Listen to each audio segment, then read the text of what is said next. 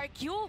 Again, binagit natin na this is a battle para matuloy ang kanilang buhay dito sa ating tournament. Kailangan nilang ipanalo lahat ng mga laban para makikita pa rin natin sila sa mga susunod na araw. Hindi naging madali ang naging journey ng RRQ Akira but now this is their final chance to proceed for MSC. Dahil pangalawang araw na ngayon, merong uuwi sa posibleng results na to. Pero looking back on this sa atin Chantel, Kufra, kahit yung panel nagulat kanina sa pagbalik ni Kufra. Oo, kasi si, si Luis din yung may gamit eh. Tinawag nga natin na the Brazilian Mamba. Si Luis ay matagal na nating nakikita na naglalaro internationally at talagang tumatak ang kanyang uh, Kufra. So uh, probably makita natin yan na talagang magpapakita ng gilas. Alam mo, sa Brazil at sa Pilipinas, tayong mga tao ay mahilig sa basketball. Talaga, hindi kahit nga mismo alas 2 ng umaga, alas 4, may nagdi-dribble. Dahil to get on the context kung bakit nga ba lumabas si Kufra, as looking back on the plays of RRQ Akira, mostly triple frontliner tong mga to. Pero nga lang, si Takashi nahulog nag kay Diablo. Oo, yung uh, Bini Uy, may ay nakap! nabigyan. Pero ito mabibigyan lang din naman ni Luis. Nagpakitang gilas na agad ang Brazilian Mamba. Wala pang dalawang minuto, one to one na kaagad. Pag-uusapan natin ulit muna yung playstyle ng RRQ Akira. Yun yung pinag-uusapan natin na ito yung gusto nilang laro. Triple frontliner that mostly Oh. kaya talaga nila harapin. Kasi yung net flash nga merong... Ay, teka lang ha. Pero wala si Takashi. Sumakto, teka lang daw kasi. Pero si uh, Kuya Hades nga pala, nakabayan natin ay uh, sanay na sa mga gantong klaseng mabibilis na mga rotation na talagang uh, intense yung ating uh, laban. Intense in a way na continuous ang farming ng mga kills dito sa may bottom lane. Si Kuya Luis ay mabubuhay pa rin dun sa moment na yon at si Kuya King naman ang hahabol doon sa bandang ibaba laban sa tatlo dahil dumating na si JPL. Hindi nga lang level 4 pero tatalon na si Hades dito. Makakatakas ba siya? Ginamit doon yung Guiding Wind or yung Circling Eagle pala. Pero walang casualty sa ibaba. RRQ Akira with the peel. Kahit hindi, kahit lumabas na yung objective na yun, talagang pinauwi mo nila ang NIP Flash regardless of the counter per counter na ginawa doon ng, ng uh, NIP Flash sa XP lane. Alam mo yung parang nangyayari ngayon sa, sa NIP Flash, ah, talagang uh, binobombard nila yung uh, XP lane. Ganda na napansin mo yon Kasi kailangan eh, kailangan mabigyan dito ng space si Kuya Diablo na matagal na rin at ah, gumawa na siya ng sarili niyang pangalan dito sa ating liga or ating ah, laro. Eto na, sino kayang unang ah, makakapagsulat ng pangalan dito sa story na pagkuha ng ating turtle? Sinimulan na nga ni Hades, nakuha niya at mamupatay na rin. Ano ang players dito ng R, RQ, Akira, Nip Flash is at 4-1. Hades with the two-man knock-up initiation pero hindi ba tatapos? Gusta la gusta, gusto at nakutin tong ibang isa pero nakaiwas pa si Vanix. Naku po, sabi dito ni Gusta la gusta, akin ka na! Grabe, gusto talaga ni Gusta na makakuha ng kill and NIP Flash ngayon. Kailangan nilang nga as much as possible ay ituloy lang yung kanilang ginagawa. Si uh, Diablo dito ay uh, talagang consistent na parang ina-aura niya dito si Tekashi eh. Love that you mentioned about Diablo. Sa mga hindi nakakaalam, si Diablo po is mostly the playmaker and initiator ng team na to. Mostly siya yung nagiging distraction, siya yung gumagawa ng space. Kaya na-notice mo, XP lane talaga yung nagiging target nila dito, Ate Chantel. So parang uh, more on space, no? Kasi sabi mo nga, RQ Akira parang Tri-front, tama ba? Yep. Yung uh, playstyle nila. So para hindi makapag-front si Tekashi, bakit hindi na natin ikutan ng ikutan at mahabang nangyayari yon may iikutan at maaurahan na rin si King. Pero hindi lang din naman makakasecure ng kill dito ang NIP Flash at dediretso doon sa purple objective. Ang kalamangan pa rin ngayon ay napupunta pa rin sa NIP Flash. Getting on the momentum, si Hades kanina nakakuha ng unang objective. Pero meanwhile, dito sa taas, JPL, three members of NIP Flash ay hindi muna magpapabaya na mapupusyan sila dito by RRQ Akira. Grabe amuyan dito sa may bottom lane. Mga RQ Akira naman nagagawa ng play. May flicker doon pero hindi tatamaan ang skill. Napakagandang eye for an eye para dito kay Diablo dun sa ibaba. Habang nangyayari yun, tuloy pa rin ang pag-poke dito sa may itaas. Gusto rin din ang bigyan si Gusta Lagusta at mukhang kukuha lang muna dito ng Outer Third Energy Shield. Si Vanix habang tatlo, apat na players ng NFA Flash ang nandito na sa may itaas.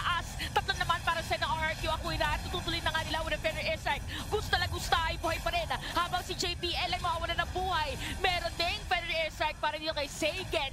At mapapatay pa nga si JPL. RRQ Akira with the counterplay. Medyo naging risky doon ng NIP Flash pero hindi ata papayawan ni Diablo na makauwi si Sagan. Meron mo na stansya dito. Hindi ata makakauwi ng buhay. Gusta la gusta. Isa na naman. Diretso pa nga si Heyday. Sabi niya, teka lang, kailangan ko bigyan.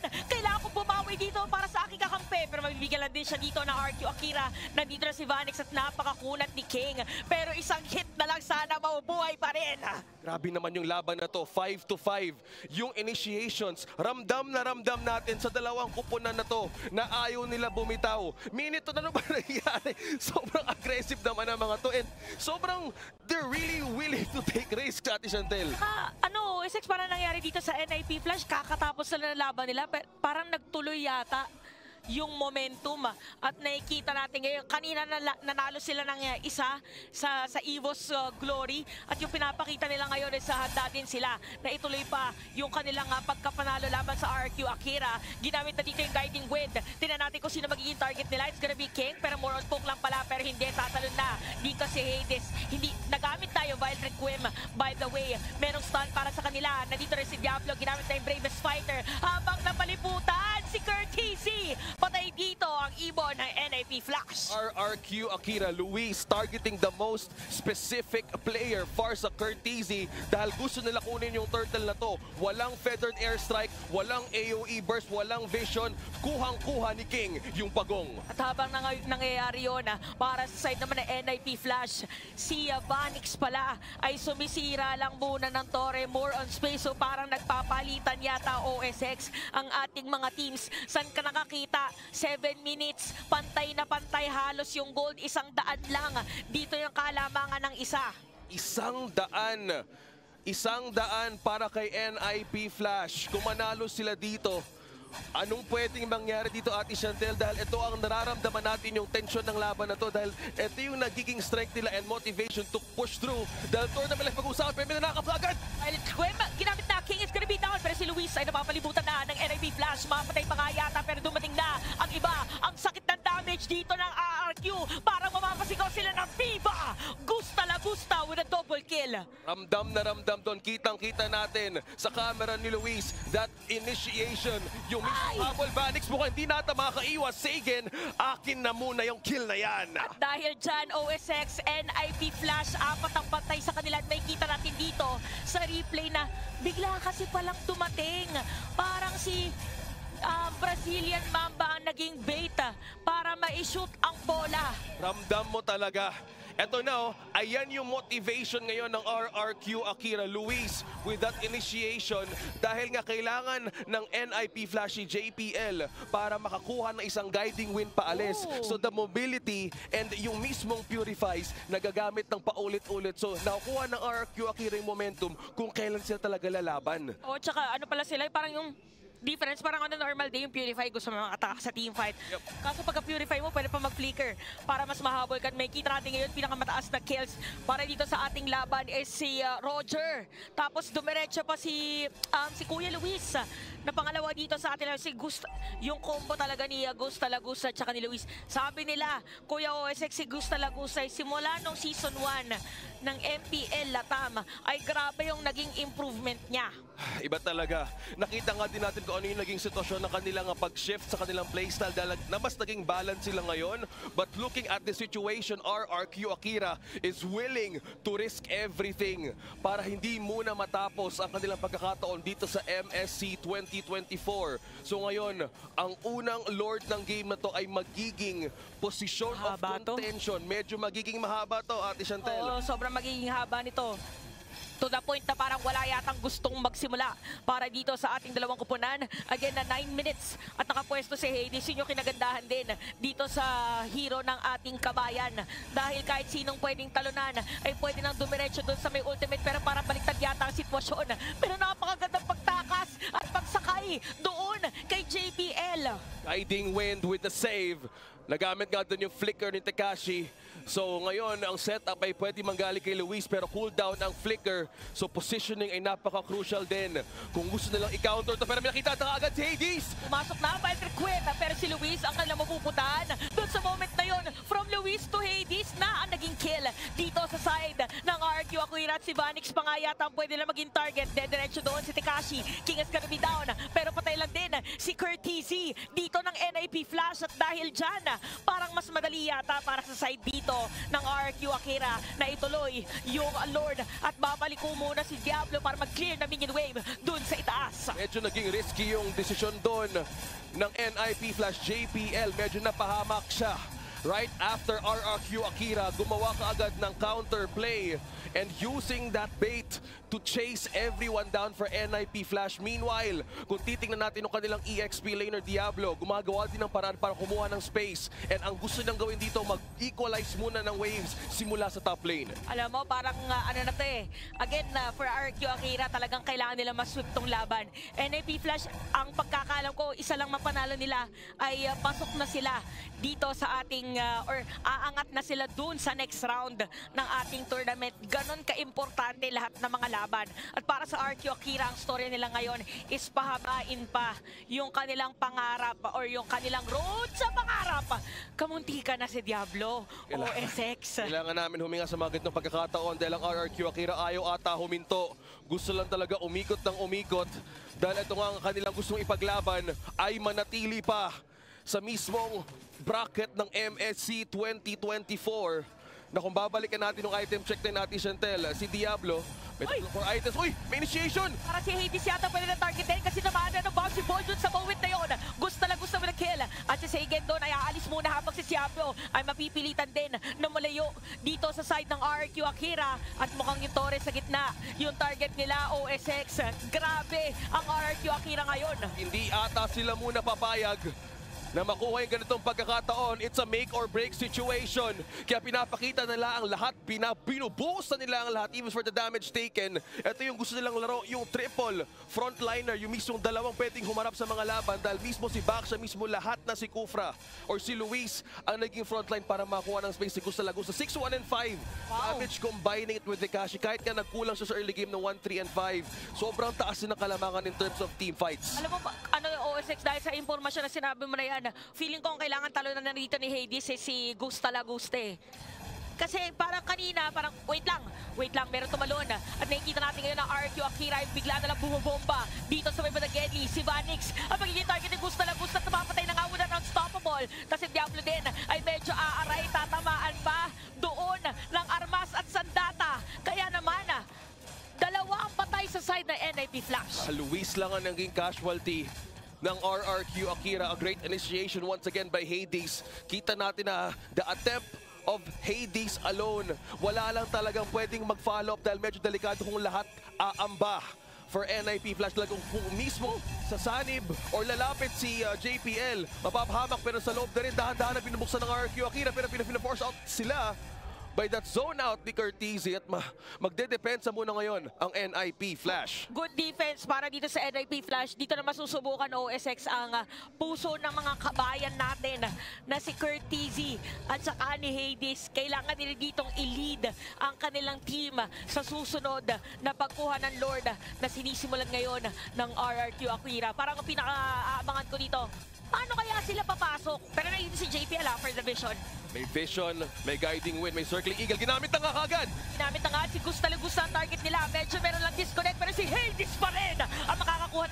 At dediretso na nga patay din dito si Luis habang si Gusta Lagusta ay nakita na tatlong players ng NIP Flash ang naghanap sa kanya. No casualty para sa NIP at ganon kabilis na baliktad ang sitwasyon ng ating laban. Sa ilang segundo lang, yung gold lead na yon, abanse ng apat. 4K gold lead at ngayon pumantay na 40.9 advancing it against RRQ Akira sa isang idlap na wala kaagad yung lead at merong Lord na push ng NIP Flash. Parang nga temperature lang. ah. Yung ah, gold natin ngayon, 41.3 tsaka 40.8. Ganon kainit yung napapanood nyong laban ngayon. At mainit din si Kuya Hades. Nangalahati, more than kalahati pa nga yung naging bawas kay King nung moment na yon. Kasabay ng temperatura ng Riyadh ang init ng laban na to dahil hindi ata papayag din ang NIP Flash dahil nabaliktad ang kalamangan at this very moment, 15 minutes in, tatlong tore na lang ang naiiwan. Ano ang magiging depensa ng RRQ Akira ngayon? Flicker, hindi pa rin, naka, naka-charge ha? Oo, naka-ready sila dito if ever. Kailangan dito ng isang magandang talon galing sa Brazilian Mamba. Pero parang maganda yata pagpasok dito ni Tekashi. Magiging target nila is gonna be Diablo. Medyo napalalim nga lang ng talon doon. Ginamit na rin yung Feather Airstrike na IMU dito ni Sagan. Pero may minion wave dito sa may bandang. Ginamit na rin yung Guiding Wind dito ni JPL. Pero more on zone out lang ang kanilang gustong gawin. At more disiplina muna ipapakita dito ng NIP Flash. Dahil hihinga muna tayong lahat. Kailangan talaga bantayan kung ano nga bang possible comeback ng RRQ Akira. Nakita na natin to sa Pilipinas nung season 7 pa lang yung mga ganito mga laban. May haya ka pa na isa! At si ang nakuha nila. Pero may free hit dito para kay Vanix. Tatalon dito si King. Ang tanong para sa side ng RQ Akira, since nakukuha sila na isa, itutuloy ba nila yung team fight? Pero may kita natin para sa NIP Flash, hindi din sila nagpapakita ng takot kahit na wala si Hades. Hindi muna. Ngayon, lalaban ng NIP Flash Winter Crown pickup by Curtizi dahil siya nga ang unang hinahanap ng RRQ Akira either si Hades or si Curtizi dahil ang hapdi ng ah, mismong counter attack sa mismong laban pero hindi ata pipi papayag si Gusto Lagusa na pauwi no? O ano lang muna, sabi nila parang nga delikado yata nahabulin natin. Medyo malalim na dito yung NIP Flash eh. So uh, probably, ang ating aabangan is gonna be the next Lord para dito sa ating dalawang kupunan. And uh, looking at the items, malaki na yung difference pala. OSX nung Benedetta at saka ng uh, isang uh, ni Tekashi at saka ni Diablo. Yup, eh, but looking at the damage may Winter Crown na rin yung Benedetta na to. Looking at the play na pwede niyang gawin, this is a Benedetta with a Petrify na merong Malefic Roar at Sky Piercer. So in a way, looking at this situation, kung i-add mo yung damage ng mismong Feathered Airstrike at mismong Electo Final Blow at meron din kay Hades, this is a, a- a complete red carpet clean-up for Vanix kung inilayer nila. Pero mukhang ito na ating laban! Mabaliktad pa nga, Luis Garbita. Wala taga-setup play ngayon ng RQ Akira. Habang si Gusta Lagusta nahanap na ni Vanix. Pero may bawi ba dito sa side ng RRQ? Dediretsuhin ng NIP Flash. At si JPL nag-zone out pa nga. Mawala ng immortality si Vanix dito. And even Diablo is still alive. So ang casualty lang dun sa napakahabang teamfight is gonna be Gusta Lagusta and Luis. Medyo magiging busy ngayon ng RRQ here to defend by just looking how NIP Flash managed to clear the ways. Kung babalikan natin ang replay, ang naging follow-up dito, ang Blade of Destruction ni Vanix from the backline of RRQ Akira. Ang lupit na naging follow-up ng NIP Flash na talagang na-zone out ang mga kasama doon ng RRQ Akira. At ah, may kita nga natin muna ang reaksyon ng ilan sa ating ah, mga manlalaro doon sa laban na yon. Parang ano mo lang muna sila. Kahit intense na nangyayari, chill lang muna sila. Pero nakuha nga ng Lord dito. Ah, nakuha ng NMP Flash rather yung Lord na kailangan depensahan ngayon ng RRQ Akira. Ang kailangan yung depensa at pati na rin opensa pero mukhang sinusubukan natin i-peel si uh, King. May immortality pa rin siya though. May flicker din ng Kufra. Sinozone out sila to the Spear of Destruction. May follow pa. Pasok ba? Hindi muna. Sabi dito na NIP Flash, antayin, antayin na lang natin yung Lord na dadaan dito sa may top lane. So again, meron pang ah, inhibitor turret ang RQ Akira sa may ah, gitna.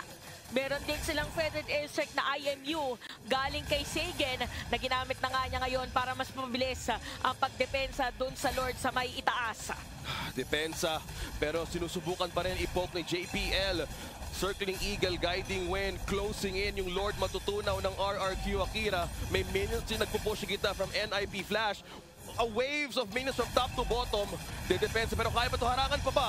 Tatamaan na. Dito si Luis habang si King ay dediretso lang din. Flicker out para kay Luis pero hahabol doon. Ang gusto na gusto is down. Tapos may iwan din si Tikashi. Ginamit na rin yung Winter Crown pero tower lock na yata para dito sa NIP Flash. Nandito si Sagan pero hindi sapat para makadepensa. At para sa ating unang laban, ngayong araw nakita na natin ang ngiti sa mga players ng NIP Flash.